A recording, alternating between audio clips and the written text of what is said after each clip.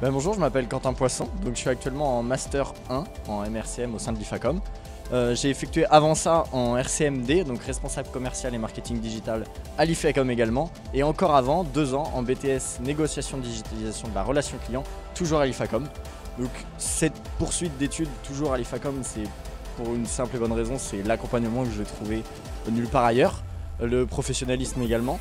Euh, les compétences aussi des formateurs. Euh, j'ai fait un an de fac après mon bac et euh, je sentais moins le professionnalisme en faculté par rapport à ici où nos formateurs, on sent que c'est des anciens professionnels qui sont venus vraiment transmettre des connaissances réelles et concrètes.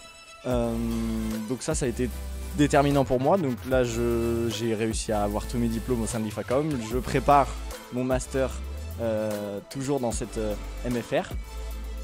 Donc euh, un des meilleurs souvenirs que je peux avoir dans, ce parcours scolaire, donc j'ai eu bah, forcément mon BTS, mon bachelor et actuellement mon master.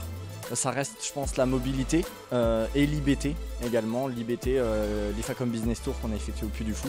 J'ai adoré l'expérience de 48 heures, 24 heures pour créer une entreprise de A à Z. et la mobilité, bien évidemment, le voyage, les rencontres qu'on a effectuées et toute cette globalité.